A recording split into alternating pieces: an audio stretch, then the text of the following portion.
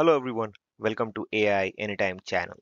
In this video, we are going to fine tune newly released multimodal model named Qwen2 VL. VL is an acronym for Vision Language. So it's a vision language model created by Alibaba Cloud and Qwen is the organization within who has created this model. Model has amazing capabilities when it comes to multimodalities, now dealing with images, videos, and different dimensions of data, which is crucial because it's an open source model and it's very small when it comes to uh, you know the the people are going gaga about the parameters and everybody is trying to build larger models. If you look at OpenAI, Anthropic, Google, so on and so forth, mainly the closed source ones because they have to make a lot of money and when they train these kind of models they have abundance of data they have the compute they have the money to basically train these uh, models. But now i appreciate organizations or research group or individuals who can create smaller models because that's the need by the way. Uh, if you look at you know the environment the carbon footprint sustainability you know all these enterprises talk about sustainability but if you ask them how it really works they have no answer for it because they don't really know what to do there. So that's what we're going to do here in this video look at Qwen2VL, how we can fine tune it. I already have created two videos on Qwen2 vision language. One is with the text and images, the other with the video. Okay, I will give those videos link in description. Check those out if you want to inference and run and not want to fine tune it. If you want to fine tune it, then this is the video for you. We're going to use Llama Factory, you know, to fine tune Qwen2 VL model. So let's jump in and see how we can do that. Now, if you if you look here on my screen, I am on Colab right now and uh, Colab free you can't fine tune. It so don't try to fine tune on Colab free version I, I would like to save your time. Okay you can fine tune it if you have the compute like you know some decent GPUs if you have. Okay uh, like V100 A100 L4 RTX you know like more than at least if you want to fine tune 2B model at least like 12 GB of GPUs that you need you know uh, to fine tune it at least for two three epochs. Uh, you can try it out on T4 if it works then it's good but I don't recommend that. Now if you don't want to try Colab you can try RunPod uh, you can try Lambda Labs SageMaker Vertex AI you know you can use any other things that you have you know Vast AI by Paperspace blah blah blah okay. Now it's up to you what you want to try it out. Now I'm going to use Llama Factory but before I jump into the this fine tuning I'll show you that I've created a video uh, when when did I create? I created this video like January this year that's called anybody anyone can fine tune LLMs using Llama Factory.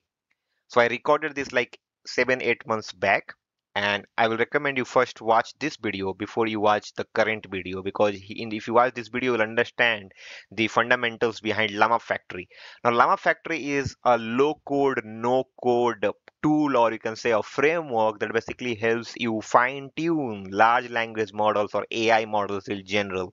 When I say AI models, I bring everything, multimodalities within it, right? So uh, I'll first recommend that you understand about Llama Factory. And these are all, you know, high level functions, abstract classes, API that have been created for you. So you can basically just use these frameworks or tool to fine tune it, you know, like quickly. And you're going to use Llama Factory here. Now, you have to build it from source. So what I'm doing, if you see, I'm cloning this GitHub repository. So what you have to do, this is the GitHub repository of Llama Factory. You come here, you click on code, click on this copy URL to clipboard, come here and just git clone and do that. Now, uh, if what I'm going to do next is I have to go inside this repository. So you can just do cd and we're going to do Llama Factory here. You can see it's suggesting me. So I just going to go inside Llama Factory and I will expand this file here. Now you can see we have a folder called Llama Factory. Now within Llama Factory, we have bunch of subfolders and files. We're going to talk about that in a bit. Now you can see we are CD and let's just do pwd to find out present working directory. If you don't know, Colab is working on like Colab has, you know, basically it's built on Linux. So basically it probably has been using Ubuntu and so on and so forth. So it's not a Windows system that empowers it. Now you can see pwd content Llama Factory and once you are done with that, you have to install a few things. So what I'm going to do is I'm going to first do pip install, pip install hyphen r requirements txt, uh, requirements. Pip install hyphen r requirement. Pretty straightforward thing, guys, where you do you know install all these dependencies. We're going to install a few more dependencies. We're going to install bits and bytes. We're going to install uh, some kernels that basically helps us you know with faster. And let's just restart the session. You can see i'm restarting session. So going to just restart. Okay now we have restarted. Let's just do pip install bits and bytes. So there are two ways you can fine tune uh, using llama factory guys. One is through llama board but basically a gradio application where you do not have to write a single line of code. Basically you just use the no code tool to fine tune it. And the other one is the CLI one where you have to line like a couple of commands where you just have to run that within the cell. Now you can see we have done this. Now if you want to work with Qwen if you want to inference or you want to fine tune for both the scenarios you cannot rely on the transformers library available through pip it, it's not updated yet. We have to build it from source. So you have to do pip excuse me you have to do pip install and then just install it through github. Okay otherwise you will get error. So what i'm going to do is you can see here i'm doing pip install. And most of you are facing this problem right now. You know you're getting this error. So what i'm going to do is https and i need that link by the way. Okay you can see it's probably suggesting me. Now https github blah blah blah and just dot git now when you do that it will install transformer from github source. So it's not going to rely on uh, you know the uh, the PyP. Now, couple of more things we're going to install and after that we are going to pretty easy guys. You know if you just watch the previous videos on llama factory you will understand where i've covered the uh, fundamentals behind it. And okay now the next is we're going to install some metrics. You know so if you want we're going to install pip install. And you can install this in a single line as well uh, pip install hyphen e but i I prefer doing like this because sometimes it's restart the sessions. You know, I don't want to do that because I, on Colab Pro A100 you get you get it if you are lucky. Otherwise, you know, in some region it says it's not available and basically it's route to L4 GPU and I don't want that to happen.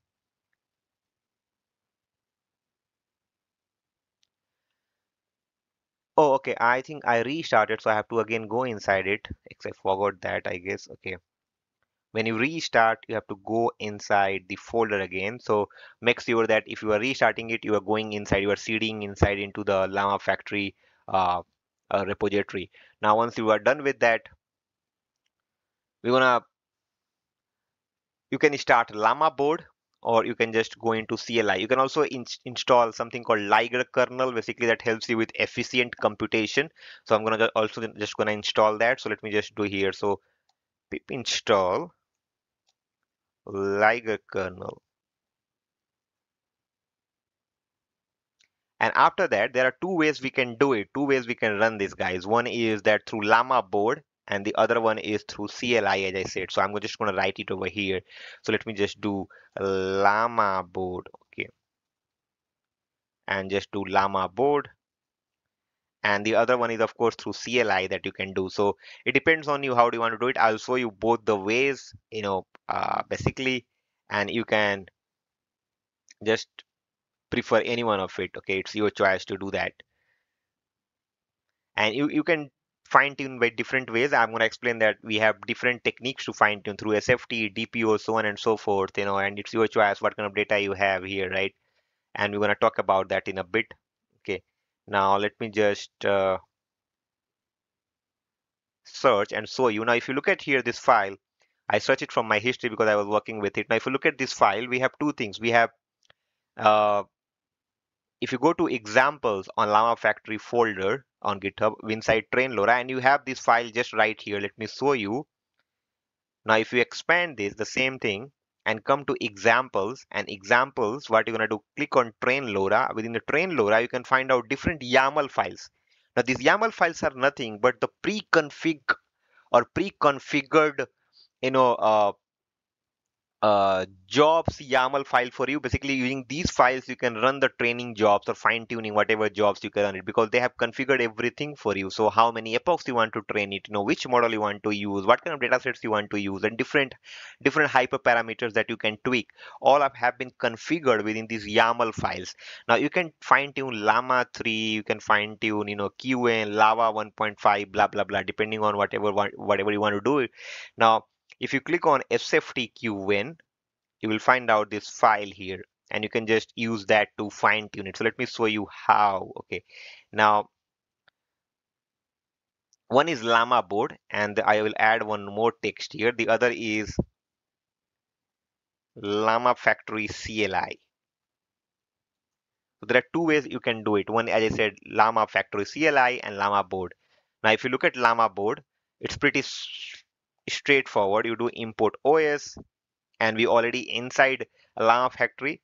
Uh, so what I'm going to do is, you know, just start the Gradio application. So you just do Gradio underscore share. If you do share equals one, it means it will open in a new uh, it will open in a new tab within the browser so it will have a public url if you have ever worked with gradio if you don't do gradio share equal to one if you make it zero it will just open in local host right it will not open in a browser so that will be difficult for you right now you do here Llama factory and Llama factory, uh, you know, hyphen CLI and then web UI. This is how you do it. So if you do this, it will open that in a, in a, in a web UI. That's what I'm going to do here. So let me just run this.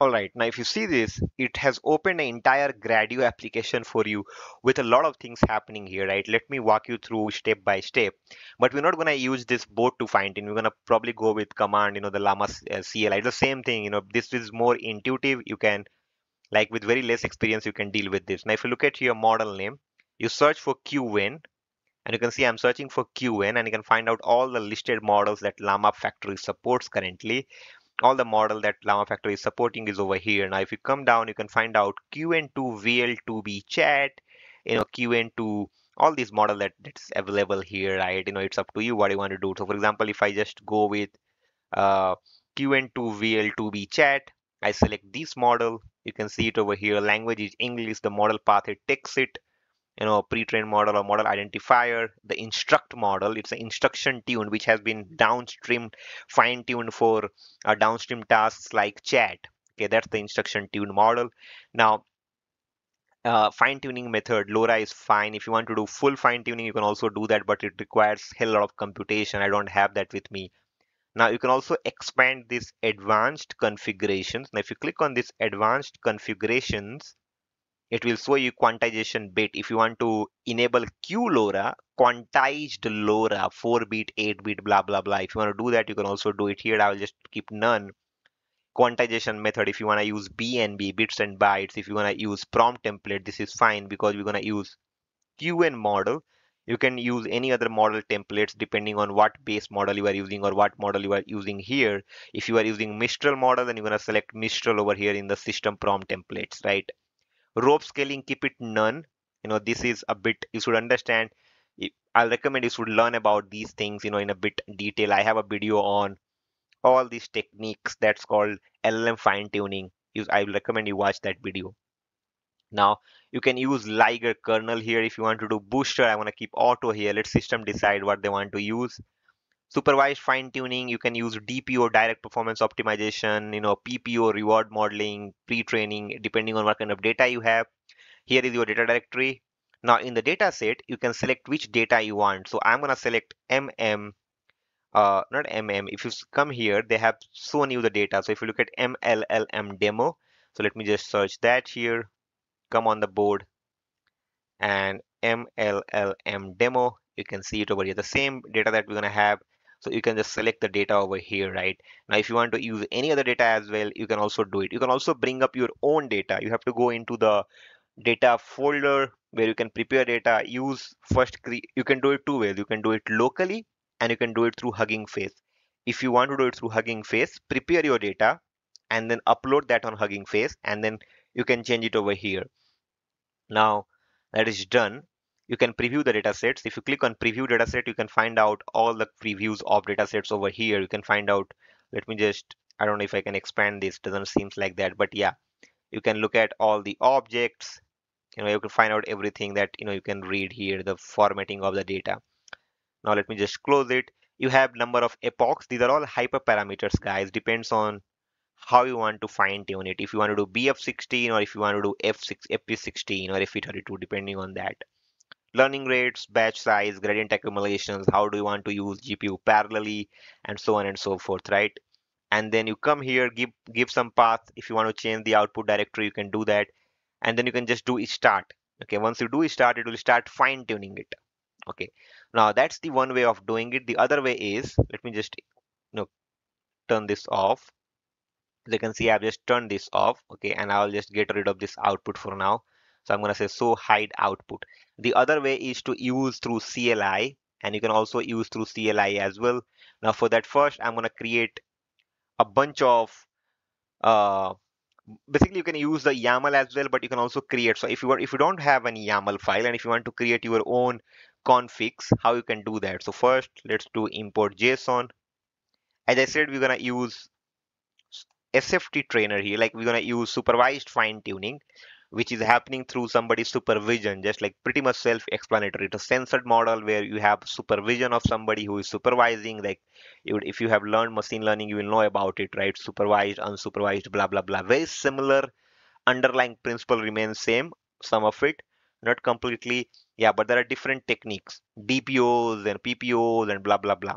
But here I'm going to use uh, SFT. Now create a dictionary of your argument and within that I'm going to create key values pair.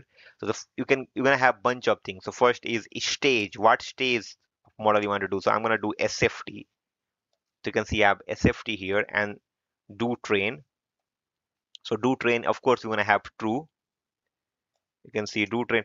And let me take let me see if we can take it from llama factory. Lot of course to write. They would have given some Colab notebook. Let me open this notebook over here and see what are they providing if you click on this, yeah, you see this, this is what we need. So let me just get this thing here, okay.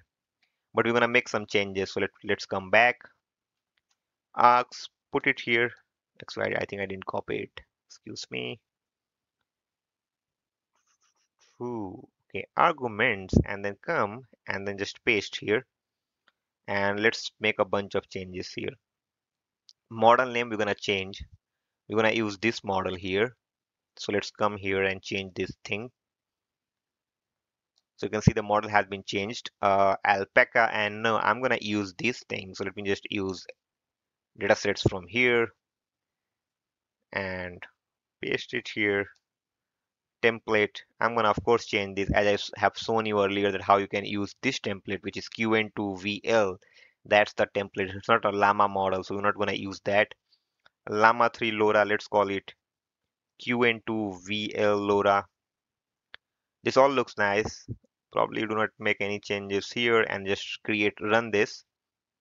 Now, once you run it, you have to basically, you know, uh, open this to create a JSON dump, right? So let me just do that. So I'm going to do JSON.dump and in the JSON.dump, I'm going to pass the arguments JSON.dump and then you're going to open a file. So let me just do open and here I'm going to create a file. So I'm going to say train underscore qwen2 or whatever qwen2 vl json and then you can you know write the file. So for that I'm going to use write and you can have an UTF-8 UTF-8 encoding. So encoding here encoding UTF-8 and then uh, we're going to indent keep some indentation because it will look nice you know when you create the like dump the JSON and you can see I have dumped it. Let me just do one thing. Let me get rid of this. This like looks very I don't know why it's why the hell you know sometimes it like hangs. Okay but it's okay. We have json.dump now the next thing i'm to do is llama factory. So i'm to use the cli so i'm to do llama factory. You can see it's showing me here. Llama factory cli and i'm not to pass this like we don't need this you, you can remove config for a single argument you don't need it and you just do train and then you just do train ql2 v, qwen2 vl.json that's the file that i've created now if you click on this file here you can find out the arguments over here now I'll show you, you might get an error and how you can fix that error. I'm going to also talk about it. Now let me just show you here. This is what we have done. Stage SFT supervised fine tuning. We have do train true because, you know, as I said, right? Oh, I can see there is, okay, this is fine. Do train true. And then you have model name or path. You can see Qwen2 VL blah, blah, blah, MLM demo. This is the data sets, the template, the fine tuning, and everything looks nice. Now let me just close this and now if you get an error, it means then I might get it because I forgot one thing and I'm going to talk about it if that happens.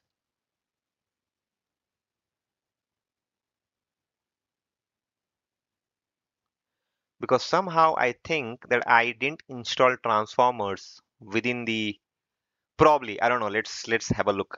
Okay if I have done that then it's okay.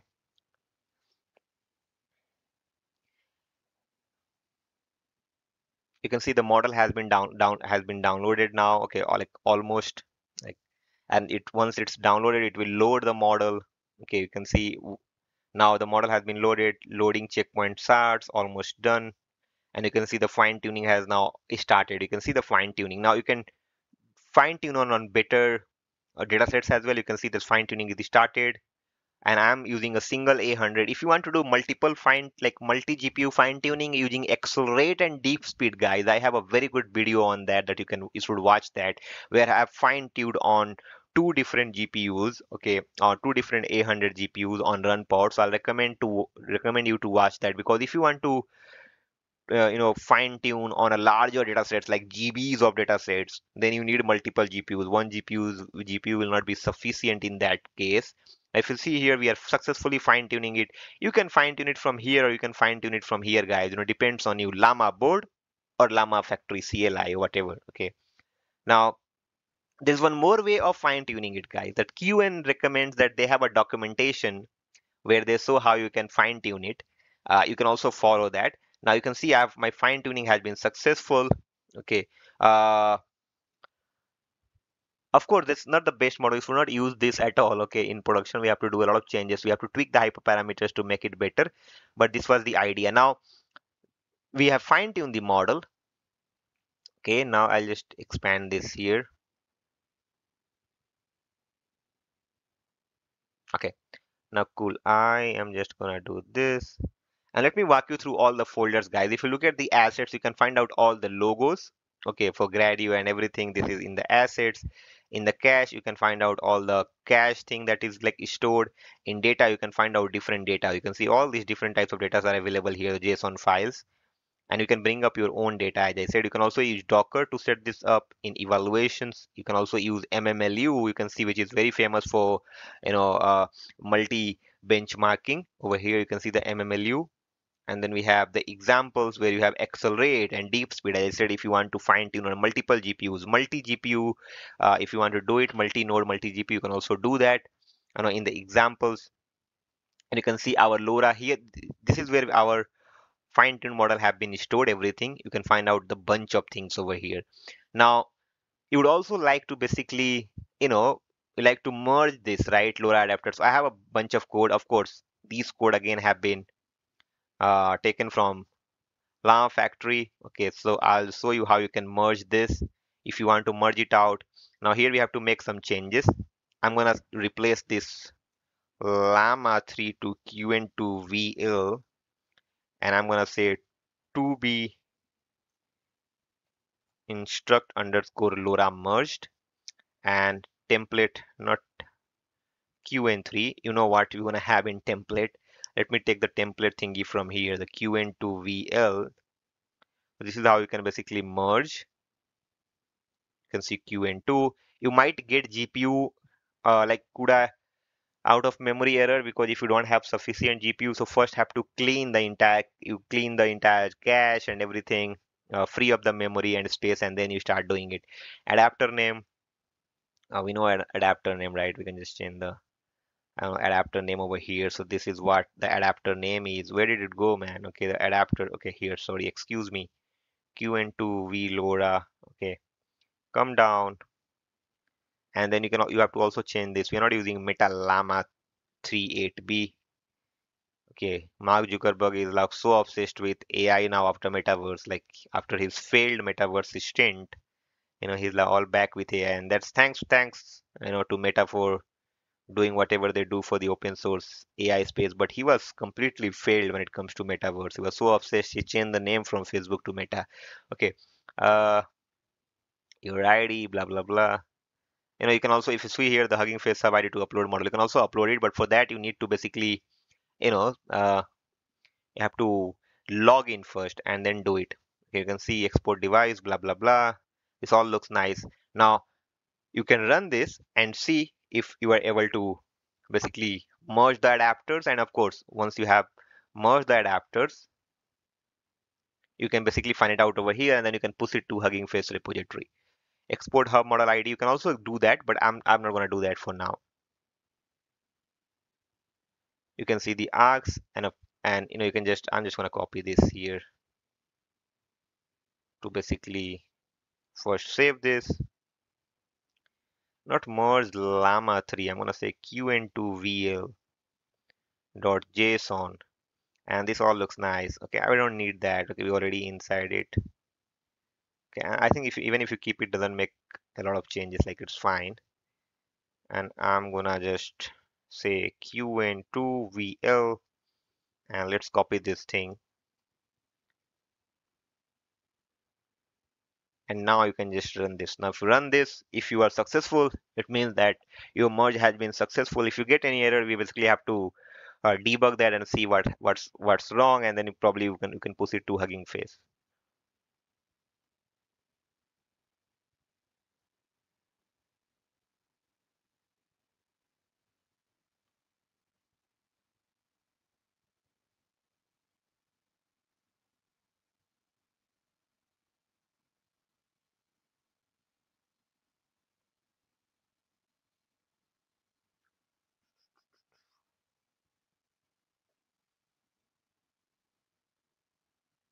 the good idea is to free up the space guys.